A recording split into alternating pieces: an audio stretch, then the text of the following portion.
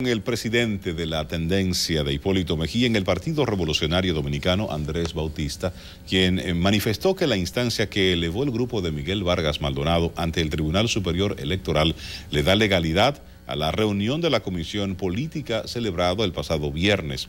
Julio Caraballo nos cuenta qué ha pasado en la sede del PRD. La situación en el Partido Revolucionario Dominicano sigue ardiendo.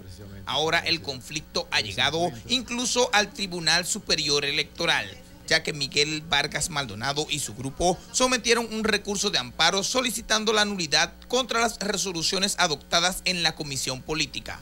La facción que encabeza Hipólito Mejía entiende que esa instancia no prosperará.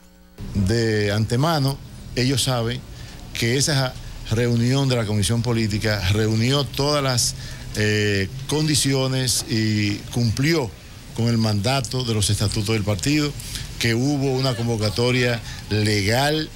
Bueno, debe fallar a favor de la verdad y de la mayoría y eso es lo que nosotros representamos.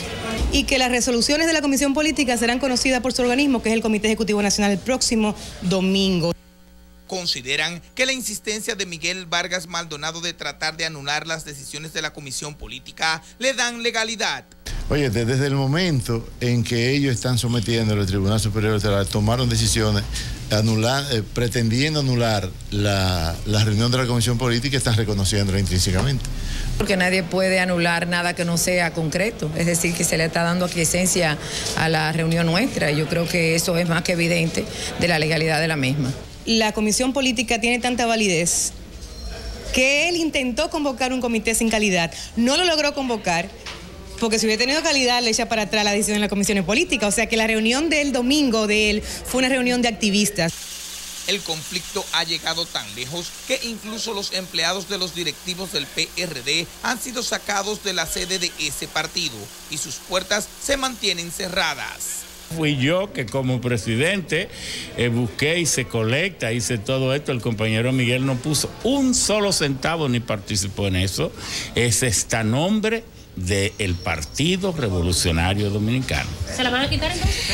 Pero es que nunca fue de él. Él tiene muchas otras casas. ¿Para qué él quiere esa?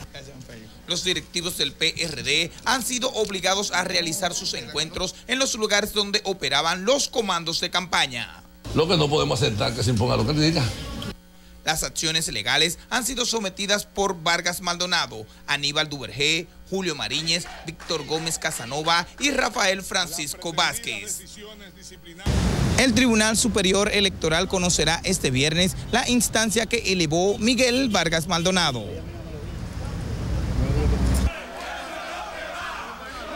La facción de Hipólito Mejía hace los preparativos para la reunión del Comité Ejecutivo Nacional que cuenta con 2.006 miembros. Julio Carballo, CDN.